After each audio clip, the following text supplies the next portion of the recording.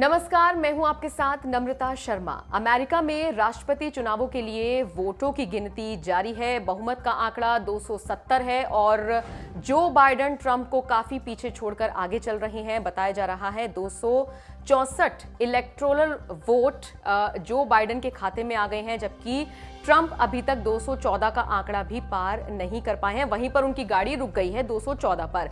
इन सब के अलावा जो बाइडेन ने अपने नाम एक और रिकॉर्ड किया है, और वो रिकॉर्ड है पॉपुलर वोट्स के आधार पर। दरअसल जो बाइडेन को सत्तर मिलियन से भी ज़्यादा पॉपुलर वोट्स मिले हैं और अब तक इतने वोट्स किसी भी पूर्व राष्ट्रपति को नहीं मिले हैं।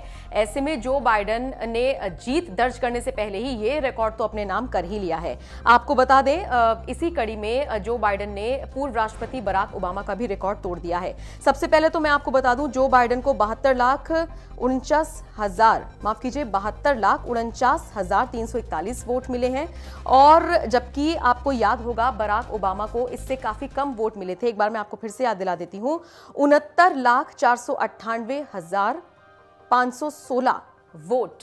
बराक ओबामा को मिले थे। तो, तो ये एक नया खिताब है जो जो बाइडेन ने अपने नाम कर लिया है। इसके अलावा बिल क्लिंटन को भी इतने वोट कभी नहीं मिले थे। यानी कि एक तरफ़ जो इलेक्टोरल वोट की संख्या में भी जो बाइडेन आगे चल रहे हैं और दूसरी तरफ़ जनता का जिस तरीके से उनको प्यार मिल रहा है वो भी साफ़ तौर पर देखने को आ, मिल रहा है। दूसरी तरफ़ अमेरिका की बागडोर फिर से डोनाल्ड ट्रंप के हाथ में आएगी या फिर नहीं आएगी या फिर जो बाइडन इस बार बाजी मार ले जाएँगे ये देखना बेहद दिलचस्प होने वाला है। क्योंकि 2016 के चुनाव हम हम सभी को याद है, ट्रंप उस दौरान भी हिलेरी क्लिंटन से काफ़ी पीछे चल रहे थे, लेकिन लास्ट में उन्होंने बाजी को पलट दिया था। हालाँकि इस बार ऐसा होने के चांसेस बहुत कम लग रहे हैं, लेकिन यू नेवर नो कब क्या हो जाए। और फिर ट्रंप की ट्रंप के जो साइलेंट वोटर्स हैं, वो बहुत ज़्यादा हैं। इसके अलावा जो भारतीय मूल के वोटर्स वहाँ पर हैं, वो भी कहीं ना कहीं ट्रंप को लेकर काफ़ी आश्वस्त हैं। हालाँकि इसमें भी कोई दो राय नहीं कि एक ऐसा तबका भी है जो ट्रंप से खासा नाराज़ बताया जा रहा रहा है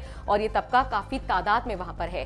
तो अभी बेहद असमंजस की स्थिति है, सभी को इंतज़ार है कि आखिर किसके हाथ में ये बाजी जाती है, ये दाव जाता है, लेकिन इन सब के बीच उम्मीद अब ये की जा रही है कि अभी काफ़ी जगहों की वोटिंग रह रही है उनकी गिनती अभी रह रही है, जिनमें कैलिफ़ोर्निया शामिल है। और माना यह जा रहा है कि अब जब सब जगह की गिनती पूरी तरीके से हो जाएगी, उसके बाद तुरंत तस्वीर निकलकर सामने आ जाएगी। हालाँकि काफ़ी लंबा वक्त हो गया है, सभी तहे दिल से इंतज़ार कर रहे हैं कि देखना होगा आखिर में राष्ट्रपति की राष्ट्रपति चुनावों की जंग कौन जीतता है।